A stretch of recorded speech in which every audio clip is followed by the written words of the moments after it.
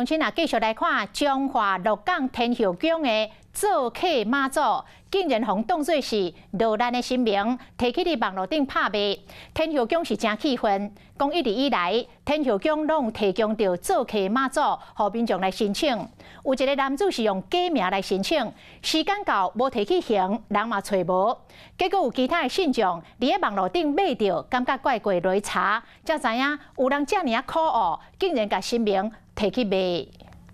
这妈祖的神尊藏伫鹿港天后宫的庙内，这拢是庙方提供民众办喜事，也是宫庙游景活动的时申请用的做客妈祖。不过，稍后不少人士以供请做客为名，第二手新名流通平台的面。人来登记说他需要做客妈祖，然后请了做客妈祖回去，然后时间到的时候，我们其实有打电话，然后发现说这位信众留的电话是假的。庙方讲，做客妈祖是将外地妈祖请到信众的庄仔内去看戏，也是讲参加游景等等的重大的活动。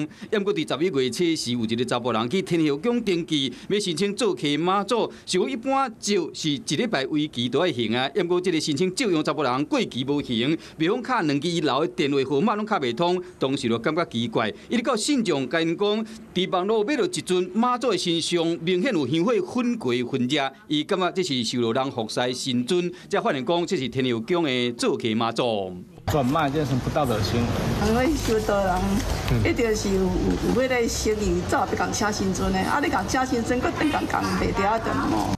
虽然目前鹿港天后宫管委会要未决定要加固，因为目前要针对宫庙受害，庙方也提醒信众，然后看到在规车的新名世界地未可疑的人士，一定要信任。